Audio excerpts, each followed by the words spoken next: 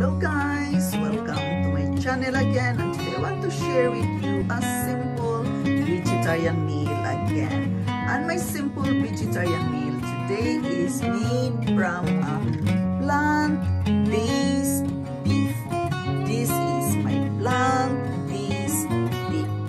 So guys, join me in my making of my simple vegetarian meal for today. And of course, I have to eat together with my potato salad.